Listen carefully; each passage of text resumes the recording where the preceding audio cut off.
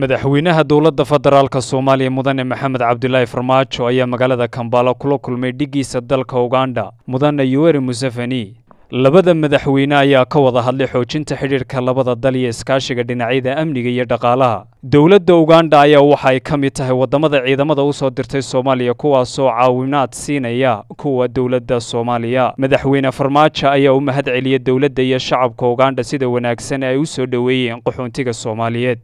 waxa uu sidoo kale xusay kaalinta aan marnaba la ilaawi karin ee uganda ka geysatay nabad ilaalinta soomaaliya. Madaxweynaha uganda ayaa dhankiisa bogaadiyey hoggaanka cusub ee dowladda federaalk soomaaliya dadaalka dheeriga ay kula jiraan la dagaalanka musuq maasuqa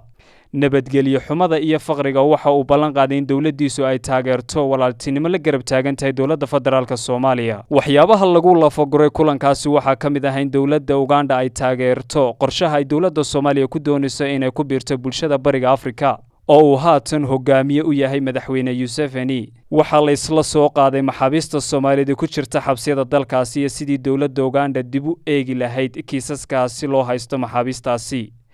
xaaladda cakaran ee ka jirta gobolka gaar ahaan koonfurta suudaan iyo maranka xuduudeed ee ka soo cusboonaaday dowladda jabuuti iyo eritreya